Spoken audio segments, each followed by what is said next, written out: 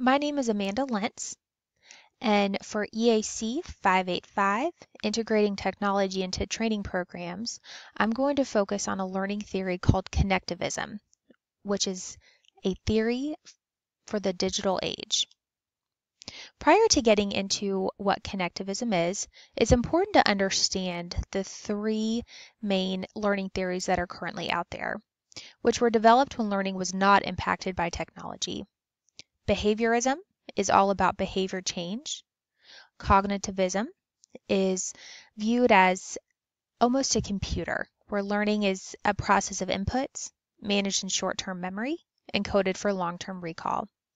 And constructivism, where learners create knowledge as they attempt to understand their experiences. Unfortunately, there are limitations with these theories, as they are concerned with the actual process of learning and not the value of what is being learned. Connectivism is an alternative theory to what uh, the other three bring. It was articulated by George Siemens in 2005, and it's the integration of principles explored by chaos, network, and complexity.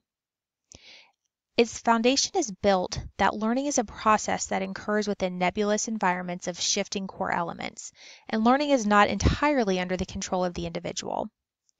Learning is actionable knowledge, which can also reside outside of ourselves, such as within an organization or database, and is connected and is focused on connecting specialized information sets. And those connections enable us to learn more are more important than our current state of knowing. And it's driven by the understanding that decisions are based on rapidly altering foundations. New information is continually being acquired, and the ability to draw distinctions between important and unimportant information is vital. The ability for individuals or organizations to recognize when new information alters the landscape based on decisions made yesterday is also critical. The principles of connectivism include learning and knowledge rest in diversity of opinions.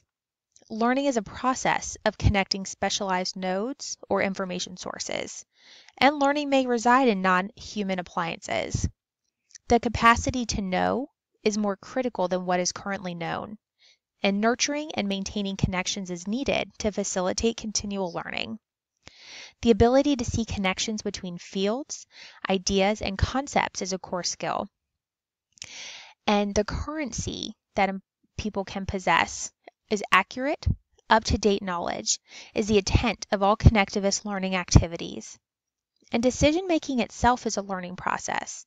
Choosing what to learn and the meaning of incoming information is seen through the lens of a shifting reality. While there is a right answer now, it may be wrong tomorrow due to alterations in the information climate affecting the decision.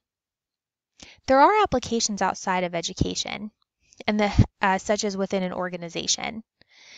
The starting point of connectivism is the individual and their personal knowledge network. They bring that into any organization or enterprise. They feed the organization and institution, which in turn feeds the network, which is which is then relied back to the individual for them to make those connections and gain that knowledge. This cycle of knowledge development, personal to network to organization, allows learners to remain current. In conclusion, the theory of connectivism focuses on the fact that the pipe is more important than the content within the pipe. Our ability to learn what we need for tomorrow is more important than what we know. The ability to plug into sources to gain knowledge is a vital skill. And as knowledge continues to grow and evolve, access to what is needed is more important than what the learner currently possesses. Connectivism presents a model of learning that acknowledges the tectonic shifts in society, where learning is no longer an internal, individualistic activity.